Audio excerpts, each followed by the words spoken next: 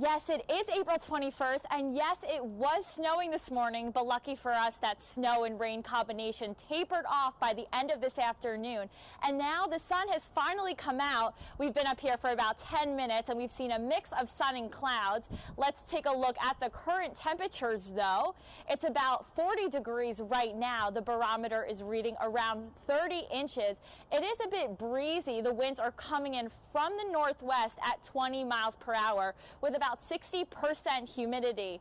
Later tonight, it's going to stay mild and luckily dry. It will hit a low of about 29 degrees. The average for about this time at night is 37 degrees, so it is a little bit colder now than usual. But tomorrow will be a warmer day, about 10 degrees warmer than today, a high of about 55 degrees.